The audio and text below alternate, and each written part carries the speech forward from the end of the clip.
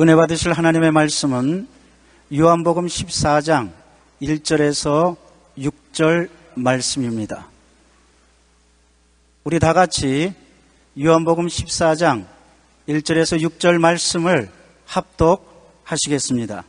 너희는 마음에 근심하지 말라. 하나님을 믿으니 또 나를 믿으라.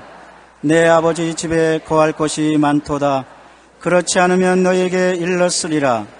내가 너희를 위하여 거처를 예비하러 가노니 가서 너희를 위하여 거처를 예비하면 내가 다시 와서 너희를 내게로 영접하여 나 있는 곳에 너희도 있게 하리라.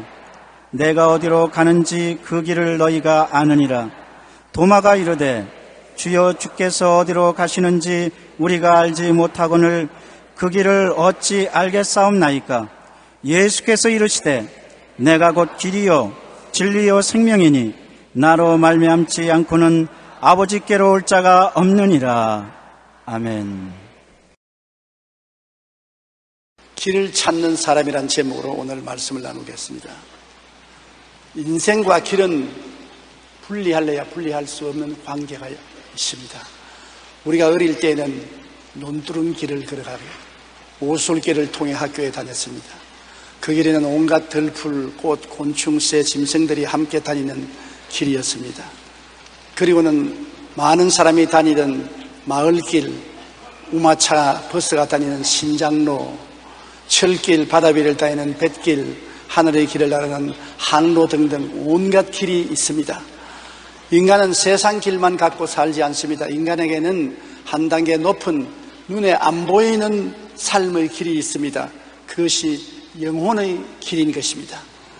우리가 인생의 길은 잃어버리면 찾아 나갈 수가 있지만은 영혼의 길은 잃어버리면 찾지를 못합니다.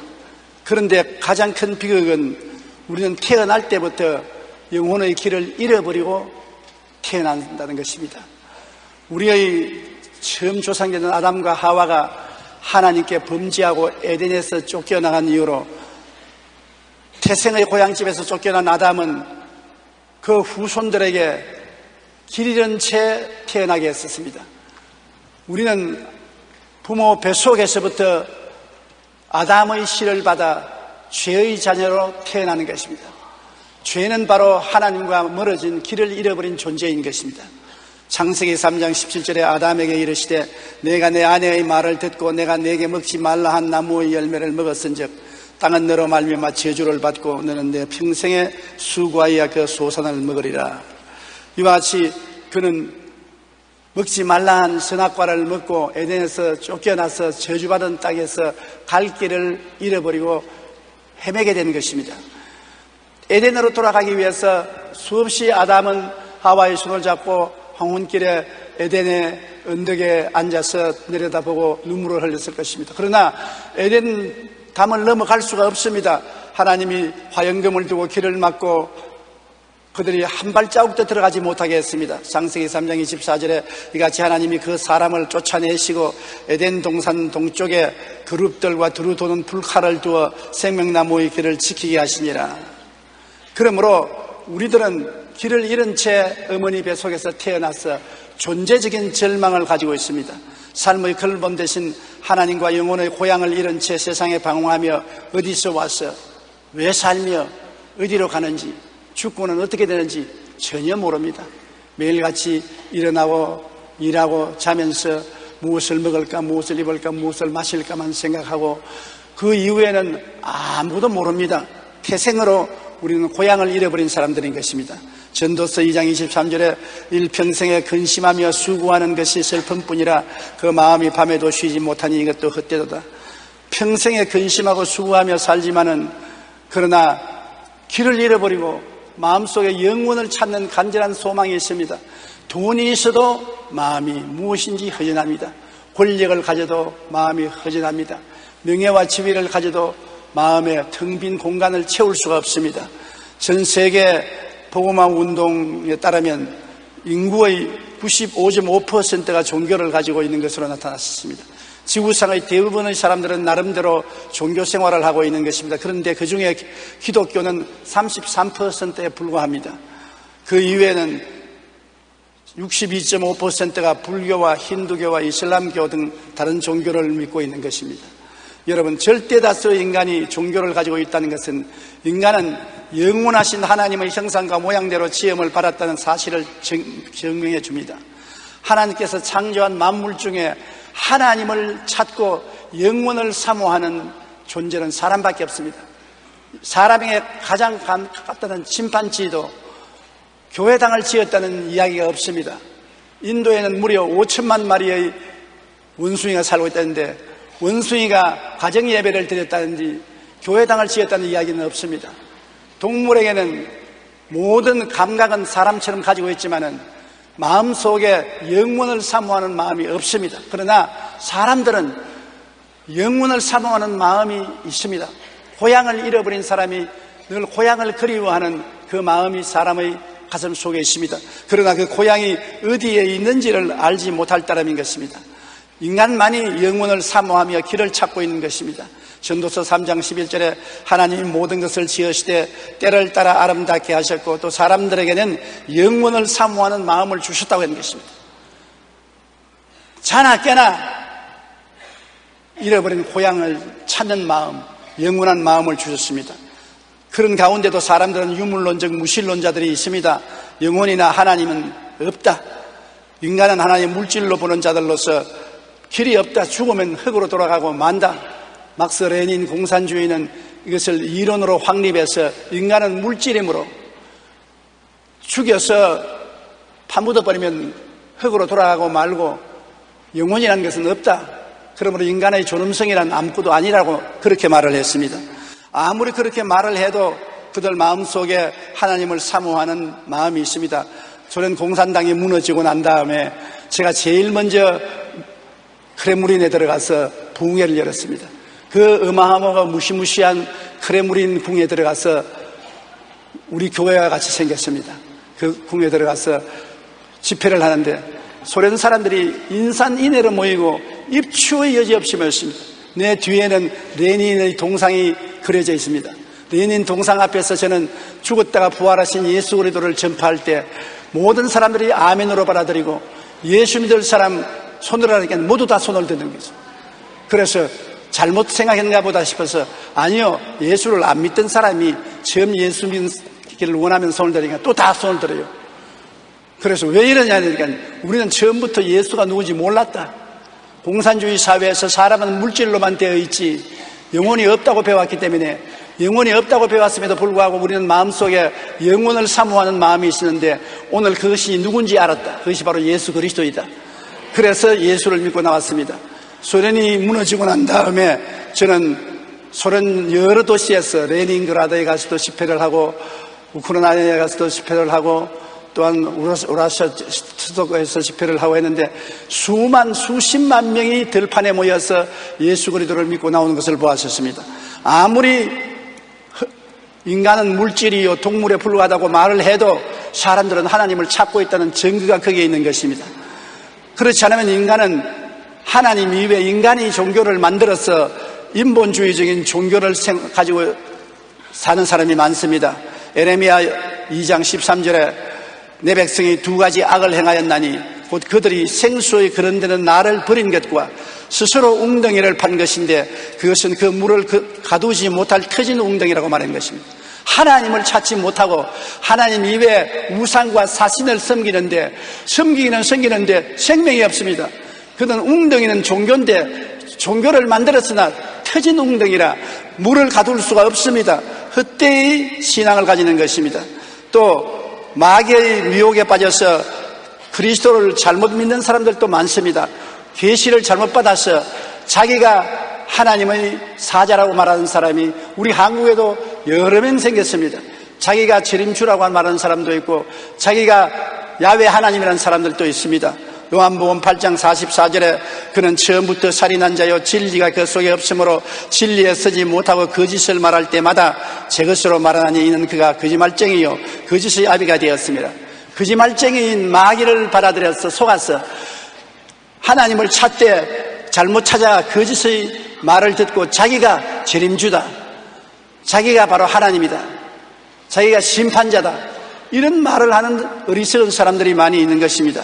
요한 1, 1장 7절에 미워하는 자가 세상에 많이 남았나니 이는 예수 그리스도께서 육체로 오심을 부인하는 자라 이런 자가 미혹하는 자여 적 그리스도라 지금도 미혹하는 적 그리스도들이 우리 주위에 많이 행행하고 있기 때문에 우리가 진리를 알고 정신을 차리고 깨고 있지 아니하면 잘못하다가는 미혹되고 유혹되고 마는 것입니다. 우리가 항상 정신을 차리고 말씀 중심에 서야 되는 것입니다. 우리가 여행을 할 때 꼭 필요한 것은 지도가 필요해요. 지도 없이 가다가는 길을 잃어버리고 한없이 헤매게 되는 것입니다. 꼭 지도를 자세히 보고 가는 길을 알고 여행을 해야 바른 길을 찾아갈 수 있는 것입니다. 천국 가는 지도는 바로 성경이요. 그 지도의 내용은 예수 그리스도인 것입니다. 창세기부터 계시록까지 여러 가지 형태로 말을 하고 있지만은 그 내용은 전부 예수님께 가르친 것입니다. 예수님만이 길이요 진리요 생명이니 그로 말미암지 않고는 아버지께로 갈 자가 없는 것입니다. 요한 1서 5장 20절에 또 아는 것은 하나님의 아들이 이르러 우리에게 지각을 주사 우리로 참된 자를 알게 하신 것과 또한 우리가 참된 자 곧 그 아들 예수 그리스도 안에 있는 것이니 그는 참 하나님이시요 연생이시라 하나님의 아들 예수님이야말로 참 하나님이시요 예수님이 영생입니다 당신 영생을 받았습니까? 몰라요 그렇게 하면 안 돼요 예수님을 마음속에 모시면 예수님이 바로 우리 영생인 것입니다 예수님이 우리의 천국인 것입니다 그렇기 때문에 예수 이외에 다른 길을 걸어가면 안 되는 것입니다. 사도행전 4장 12절에 다른 이로서는 구원을 받을 수 없나니 천하 사람 중에 구원을 받을 만한 다른 이름을 우리에게 주신 일이 없음이라 하였더라. 천하에 종교는 많습니다. 지도자는 많습니다. 그러나 구원을 받을 이름은 한 분밖에 없습니다. 나사렛 예수인 것입니다. 이슬람 교도였던 한 사람이 성경을 읽다가 예수님을 깨닫게 되고 영접하게 되고 기독교를 개종을 했습니다. 그 그는 교회 회교 공동체 집회에 잡혀와서 신문을 받았습니다. 이들이 왜 마음의 딸 배신하고 기독교를 개정했느냐 그렇게 물으니까 그는 이렇게 말했습니다. 제가 세상을 살면서 길을 잃었었습니다. 그런데 가다가 보니 죽은 사람이 한 사람 누워있고 그 옆에는 산 사람이 한 사람 있었습니다. 그렇다면 누구에게 길을 물어야 합니까? 이 회교인들이 우리를 놀리느냐 당연히 산 사람에게 물어보아야지라고 하자. 그는 제가 보니 마오베는 죽어서 그 무덤이 메카에 있고 예수님은 무덤이 없이 살아났습니다. 그러므로 죽은 마음의 때에 길을 묻는 대신에 살아계신 예수님께 길을 물어야 마땅하지 않습니까? 그러니 그 지도자들이 아무 말도 못했다는 그 이야기를 읽어본 적이 있습니다. 많은 사람들이 인생의 참길을 찾기 위해 헤매지만 어제나 오늘이나 영원토록 동일하고 변함없는 길은 예수 그리스도 우리 주님이신 것입니다. 죽었다가 부활하여 하늘로 올라가신 분, 즉 하늘 길을 증명하신 분은 예수밖에 없습니다. 하늘에서 내려오신 분은 예수밖에 없고 또 죽었다가 부활해서 하늘로 올라가신 분은 예수밖에 없습니다. 온 길, 간 길을 아시는 분은 예수님이신 것입니다. 다른 모든 사람은 세상에서 아버지가 있습니다. 그래서 아버지의 피를 따라서 이 세상에 태어났고 수양과 도덕과 자기 나름대로 계시를 받아서 지도자가 되었다고 했는데 예수님은 아버지가 없습니다. 성령으로 말미암아 마리아에게 잉태해서 사람으로 태어났습니다. 그리스도는 완전한 하나님이요 완전한 사람이었었습니다. 그는 인생의 죄악을 다 짊어지고 그 빚을 갚기 위해서 십자가에 올라갔었습니다. 하나님 아들 예수님은 빚이 없기 때문에 자기 빚으로 십자가에 올라간 것은 아닙니다. 여러분과 나의 죄, 불의, 추악, 저주, 절망의 빚을 대신 짊어지고 십자가에 올라가서 몸짓고 피 흘려 빚을 갚고 감옥에 들어가서 사흘 만에 청산하고 부활해서 일어나서 빚을 다 털 헐 털어버리셨습니다. 예수님 몸에는 빛의 먼지가 묻어있지 않습니다. 예수를 믿으면 다 빚쟁이에서 해방되는 것입니다. 활활 빚을 털어버리고 자유와 해방을 얻은 사람이 되는 것입니다. 그리고 예수님은 만 사람이 보는 앞에서 하늘로 부활 성천하셨습니다. 이러므로 예수 그리스도를 믿는 자는 하늘 길을 마음속에 가지고 있는 사람인 것입니다. 전에도 제가 말씀했지만 어떠한 사람이 산길을 걸어가는데 길을 몰라서 인디안을 고용했습니다. 그 인디안을 따라가는데 산에 숲풀이 우거지고 나무가 잔뜩 많고 돌짝을밭이 있고 길이 없습니다. 그래서 여보 길이 없는데 당신 잘못 가는 것 아니요? 그러니까 돌아보면서 보시면서 내가 바로 길이요. 나만 따라오면 틀림없어요. 그래서 길이 전혀 없는데도 불구하고 그 인디안만 따라가니까 목적지에 도달했습니다. 우리는 천국이 어디 있는지 모릅니다. 여기에 있는지 우편에 있는지 좌편에 있는지 천리 밖에 있는지 구만리 장천에 있는지 어딘지 모릅니다. 어딘지 천국이 있는 줄 아는데 길을 몰라요. 길을 안다고 하는 사람들마다 다 자기도 길을 몰라서 죽고는 깨어나지 못했습니다. 예수님만이 죽었다가 부활하셔서 성천하심으로 예수님이 바로 길이요 진리요 생명이니 예수님만 따라가면 되는 것입니다. 다른 것 따라갈 필요 없습니다. 예수님만 따라가면 되는 것입니다. 고린도전서 15장 3절로 4절에 그리스도께서 우리 죄를 위하여 죽으시고 장사 지낸 바 되었다가 성경대로 사흘 만에 다시 살아났다고 말한 것입니다. 죽었다가 살아난 사람이 죽으면서 살아나 일어나는 길을 알고 있고 살아나서 천당 간 사람이 천당 가는 길을 아는 것입니다. 에베소 1장 20절에 그의 능력이 그리스도 안에서 역사사 죽은 자들 가운데서 다시 살리시고 하늘에서 자기의 오른편에 앉히셨다고 말한 것입니다. 주님은 살아날 뿐 아니라 하늘의 아버지 보좌 우편에 앉아 계심으로 천국 길로 안내하실 분, 즉 성령 보혜사를 보내서 우리 마음에 성령님의 인도로서 깨닫고 예수님을 알고 예수님을 따라가게 만들어 주신 것입니다. 성령은 바람과 같다 했습니다. 바람을 본 자가 있습니까? 못 보았습니다. 바람을 만져보지도 못해봤습니다. 그러나 바람이 있는 것은 다 압니다. 바람이 있기 때문에 우리가 숨 쉬고 살고 있는 것입니다. 성령을 본 자가 없고 만진 자가 없지만은 예수를 깨달은 것은 여러분이 예수님을 만나서 깨달은 것이 아니라 성령이 깨닫게 해주신 것입니다. 성령의 마음에 깨닫, 이해력을 깨닫 주셔서 예수님을 깨닫고 예수님을 믿는 것도 성령님이 우리를 끊임없이 이끌어 주시기 때문에 예수님을 믿게 되는 것입니다. 성령이 없는 사람은 예수를 믿을 수가 없고 예수님을 따라갈 수가 없습니다. 성령이 우리를 이끌어서 항상 예수님 품에 안기게 만들고 예수님을 따라가게 만들어 주시는 것입니다. 사도행전 2장 32절로 33절에 예수를 하나님이 살리신지라 우리가 다 이 일의 증인이로다. 하나님이 오른손으로 예수를 높이심에 그가 약속하신 성령을 아버지께 받아서 너희가 보고 듣는 이것을 부어 주셨느니라. 예수님이 약속하시기를 내가 하늘에 가면 아버지께로부터 성령을 받아서 너희에게 보내주시겠다고 했는데 오순절날 성령이 이 땅에 임하신 것입니다. 그 성령은 오늘 또 우리 가운데 같이 계시고 우리와 함께 계시고 우리를 깨닫게 하시고 인도하여 주시는 것입니다. 성령께서 바로 예수님의 영이 되시는 것입니다. 예수님은 요한복음 14장 1절로 4절에 너희는 마음에 근심하지 말라 하나님을 믿으니 또 나를 믿어라 내 아버지 집에 그할 곳이 많도다 그렇지 않으면 너희에게 일렀으리라. 내가 너희를 위하여 거처를 예비하러 가노니 가서 너희를 위하여 거처를 예비하면 내가 다시 와서 너희를 내게로 영접하여 나 있는 곳에 너희도 있게 하리라. 내가 어디로 가는지 그 길을 너희가 아느니라고 말한 것입니다. 주님이 어디로 가는지 우리가 모르는데 어떻게 길을 합니까? 예수님이 바로 그 길인 것입니다. 주님은 2000년 동안 여러분과 나 있을 곳을 예비해 놓은 것입니다 이제 우리가 언제 육신의 장막집을 떠나도 우리는 예수님을 따라서 영원히 있을 곳으로 들어갈 수 있는 것입니다. 우리에게 막힌 담은 다 흐려졌은 것입니다. 예수님 이외에 우리 앞길에 막힌 장애물을 제낄 사람이 없습니다. 종교도 철학도 수양도 도덕도 우리 앞에 막힌 장막을 제낄 수가 없은 것입니다. 어떻게 이 장막을 장애물을 건너가는 것입니다. 이스라엘 백성이 홍해 앞에 섰을 때 절망했습니다. 건너갈 수가 없습니다. 그 넓은 홍해 건너서 어떻게 애굽을 피해서 가는 것입니까? 하나님만이 홍해 수를 갈라놓은 것입니다. 그와 같이 예수님은 마귀가 막고 죄가 막고 사망이 우리를 막아서 조금도 천국길에 들어오지 못하게 하고 그 길을 예수님 혼자 십자가에서 마귀를 멸하고 죄를 멸하고 모든 사망의 세력을 멸해버리고 길을 확 열어놓고 말한 것입니다. 로마서 5장 12절에 그러므로 한 사람으로 말미암아 죄가 세상에 들어오고 죄로 말미암아 사망이 들어왔나니 이와 같이 모든 사람이 죄를 지었으므로 사망이 모든 사람에게 이르렀느니라. 모든 사람에게 사망이 이르렀습니다.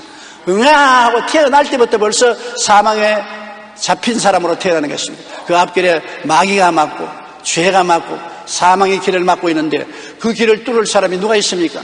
이 세상 사람은 없습니다. 예수님만이 죽음을 해치고 사흘 만에 부활하셔서 죄와 마귀와 사망의 장애물을 제껴버리고 우리에게 활짝 열린 문을 주신 것입니다. 예수님의 십자가의 죽으심과 부활하심이 뚫어놓은 길인 것입니다. 이제는 여러분, 여러분 앞에 막힌 담이 없습니다. 장애물이 없습니다. 요한복음 3장 16절처럼 하나님이 세상을 이처럼 사랑하사 독생자를 주셨으니 이는 그를 믿는 자마다 멸망하지 않고 영생을 얻게 하림이라. 영생의 길이 믿음을 통해서 활짝 열려 있는 것입니다. 눈에는 아무 증거 안 보이고 귀에는 아무 소리 안 들리고 손에 잡히는 것 없어도 예수님이 바로 길이요 진리요 생명인 것입니다. 예수님이 참 길이 되고 거짓이 아닌 참 진리가 되고 예수님이 바로 영생이 되는 것입니다. 히브리서 10장 19절로 20절에 우리가 예수의 피를 힘입어 성소에 들어갈 담력을 얻었나니 그 길은 우리를 위하여 휘장 가운데로 열어놓은 새로운 살 길이요 휘장은 그 육천이라 하나님의 지정소에 들어가는 휘장이 막혀 있었는데 십자가에서 예수님이 내가 다 이루었다 할 때 휘장문이 쫙 찢어지는 것입니다. 이제는 우리에게 하나님께 나가는 문이 확 열려 있습니다. 어디에서나 예수 이름만 의지하고 예수 이름을 부르면 아버지께로 나아갈 수가 있는 것입니다. 우리는 아버지께 나가기 위해서 다른 사람들의 도움이 필요 없습니다. 예수 이름만 부르면 예수 이름 가운데서 아버지에게 나아갈 수가 있는 것입니다. 그러므로 무엇인지 주님의 이름으로 기도하면 하나님이 들으신다고 말하는 것입니다. 우리는 수양과 도덕을 닦아야 하나님 앞에 나가는 것이 아니라 오직 예수님을 믿음으로 나아가는 것입니다. 예배소 2장 8절로 9절 다 같이 읽어보십시다.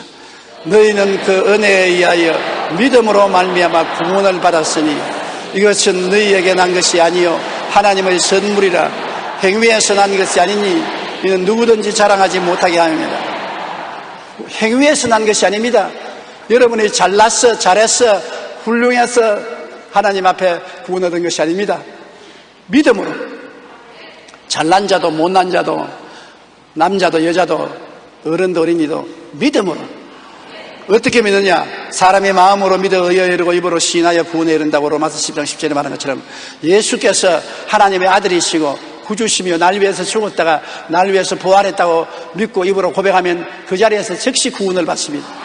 구원을 받는데 10년, 20년 시간이 걸리지 않습니다. 예수님의 옆에 달렸던 강도가 숨이 끊어지기 전에 주여 주의 나라에 임하실 때 나를 기억하여 주시옵소서 그말 했습니다. 그는 언제 가서 모든 죄를 회개하고 잘못을 고백하고 교회 가서 예배 드리고 할 시간이 없어요.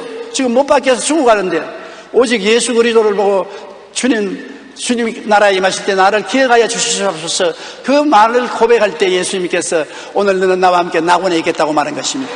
그리스도를 구주로 믿고 입으로 시인하면 구원을 받습니다. 그러므로 굉장히 중요한 것이 마음에 믿고 입으로 시인하는 것입니다. 아무리 마음으로 믿어도 입으로 부인하면 구원받지 못합니다. 제가 옛날에 육군 대위 한 사람이 암에 걸려 죽어가는데 그 부인은 우리 교회 교인인데 그 남편을 구원해달라고 해서 그 죽음의 침상 옆에 가서 제가 아무리 간청을 해도 나는 군인이요 당당하게 죽지 비겁, 비겁하게 죽을 때 예수를 믿지 않겠습니다. 그래서 비겁한 것이 아닙니다. 오직 그냥 예수님은 나의 구주라고 말 한마디만 입으로 고백하십시오. 그러면 천국이 열립니다. 당신에게 천국과 지옥이 지금 선택길에 있는데 입으로 예수님이 나의 구주가 된다고 말 한마디만 하십시오. 그러면 구원을 받습니다. 끝까지 입을 다물고 말을 안 하고 죽습니다. 그런 고집이 훌륭한 같지만은 영원한 지옥불에 탈 수밖에 없습니다. 예수님 이름을 고백하면 문이 활짝 열리고 천국에 들어갈 수가 있다는 것을 우리는 알아야 하는 것입니다. 미국의 대통령이었던 존 아담스가 나이가 많이 늙어서 하루 모자를 쓰고 지팡이를 짚고 벌벌 떨면서 산책을 하고 있는데 아, 주변 사람이 와서 인사를 하고 아유 존 아담스 대통령님 평안하십니까? 그러니까 존 아담스는 평안한데 그 집이 헐어서 말이 아닙니다.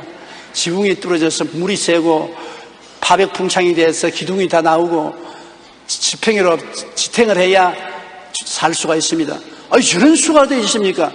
과거에 대통령으로 지난 분이 그래 지붕이 다 무너지고 파백풍창이 되고 기둥이 다 흔들려서 바쳐야 된다니 그럴 수가 없습니다. 우리가 모금을 해서라도 그 집을 고쳐야죠. 이거는 웃으면서 모금을 해서 고칠 집이 아닙니다. 모자를 벗더니만 머리가 다 빠진 머리로 기와가 다 떨어져 나갔습니다. 옷을 이렇게 들치면서 갈비뼈 뼈가 보이거든요. 벽이 다 파벽풍창이 돼서 여기 기둥이 다 보입니다. 흔들려서 내가 지팡이로 내 몸을 지탱하지 않으면 안 됩니다. 존 아담스는 괜찮지만은 집이 이렇게 헐었으니 이제 얼마 있지 않냐면 저 곳으로 가야 되는 것입니다.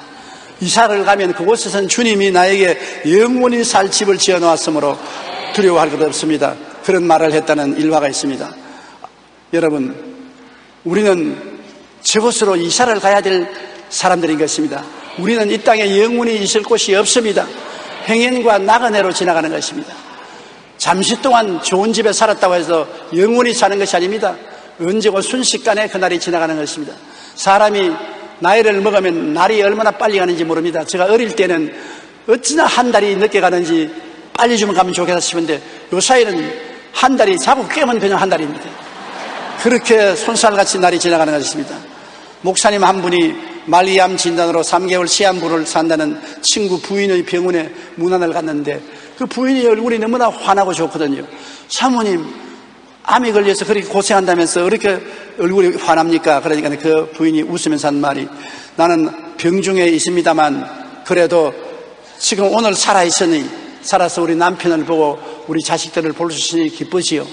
그리고 내가 아무리 아파도 내 마음속에 나는 소망이 있으니까 고통을 참고 기뻐할 수 있는 것은 우리 주님이 날 데리러 와 있기 때문인 것입니다. 언제고 내 숨이 끊어지자 말자 나는 이 육신 떠나게 되고 예수님의 손을 잡고 영원한 집으로 갈 수 있는 소망과 꿈이 있고 믿음이 있습니다. 그러므로 나는 고통 중에라도 기뻐할 수 있습니다. 맞습니다. 마음에 소망이 있고 꿈이 있고 믿음이 있으면 어떠한 역경도 견뎌나갈 수 있습니다. 그러나 소망을 잃어버리고 꿈이 없어지고 믿음이 쓰러져 상실되면 어떠한 고통도 견디지 못하고 넘어지는 것입니다. 하늘에서 하나님께서 하늘에서 내려오셔 예수님을 우리가 만나면 어디서 와서 왜 살며 어디로 가는지를 알게 되는 것입니다. 대학을 안 나와도 대학원을 안 나와도 석박사가 안 되어도 예수 그리스도를 믿으면 내가 죄인 된 사람이 예수 믿어 구원받아 천국 가는 것을 아는 것입니다. 그렇기 때문에 죄에서 해방된 것을 알고 이 세상에 의미 없이 사는 것이 아니라 천국 갈 준비를 하고 있다는 것을 알게 되고 또 영원히 죽지 않고 산다는 것을 알게 되므로 이 사람은 진리를 깨닫고 모든 것을 아는 사람이 되는 것입니다. 진리를 알지니 진리가 너희를 자유케 하리라고 예수를 알고 진리를 알면은 이 세상에 묶이지 않습니다. 죄악에 묶이지 않습니다. 마귀에 묶이지 않습니다. 육체의 삶에 묶이지 않습니다. 하늘나라를 향하여 즐거움을 가지고 유유히 인생을 살아갈 수가 있게 되는 것입니다. 예수님만 하늘 고향에 가는 길인 것입니다. 고향을 찾는 우리 마음은 예수님을 찾게 되면 만족하게 되어 그 길을 찾게 되는 것입니다. 예수님을 모신 사람은 구원의 길, 천국 가는 길, 믿음의 길, 소망의 길, 사랑의 길, 의의 길, 평화의 길, 기쁨의 길을 가슴에 품고 사는 사람이 겠습니다. 길이 있습니다. 어둡고 캄캄한 데 있지 않습니다. 담이 막히고 장애물이 막힌 데 있지 않습니다. 우리 앞에 훤히 트인 길이 있습니다. 우리는 이런 사람이 아닌 길 찾은 사람입니다. 지금으로부터 여러분은 길을 찾은 사람이요. 그 길을 걸어가는 사람이기 때문에 길을 잃고 방황하는 사람에게 손을 내밀어 길로 이끌어 주어야 되는 것입니다. 예수님은 여러분의 영원한 길이요. 영원한 진리요. 영원한 생명이 되시고 여러분 끝까지 여러분을 떠나지 않고 여러분과 함께 계시는 것입니다. 볼지어다 내가 세상 끝날까지 너희와 항상 함께하리라고 말씀한 것입니다. 내가 아무리 고통스럽고 괴로워도 주님은 우리 가운데 계십니다. 그는 십자가를 걸머지고 우리를 위해서 고통을 대신 당한 분이기 때문에 우리를 사랑하고 우리가 좋을 때도 같이 계시고 고통당할 때도 함께 고통을 걸머지고 같이 계셔 주시는 것입니다. 예수를 의지하고 사는 우리에게는 영원한 소망과 기쁨의 길이 열리는 것입니다. 주님, 우리를 붙들어 주시옵소서 항상 주님을 의지하는 여러분 되시기를 주님 이름으로 축원합니다. 기도드리겠습니다. 사랑이 많으신 우리 아버지 하나님, 우리 모두는 길을 찾고 인생을 살고 있습니다. 우리는 세상 길을 따라가다 낭패와 실망을 당하고 고통을 당할 때가 많습니다. 아무도 우리에게 참된 길이 될 수 없습니다. 남편도 아내도 자식도 지위도 명예도 권세도 돈도 쾌락도 우리의 살 길이 되지 못합니다. 우리의 살 길은 우리 위해서 십자가에서 못 박혀 죽었다가 부활하신 예수님만이 참 길이 되시는 것입니다. 생명의 길, 위로의 길, 우리에게 영광의 길, 승리의 길이 되시는 것이니 예수님을 중심으로 모시고 살게 도와주시옵소서. 순식간에도 예수님을 떠나지 말게 도와주시옵소서. 예수님과 함께 사는 그것만이 참는 행복인 것을 알게 하여 주시옵소서. 예수님 이름으로 기도드립니다. 아멘.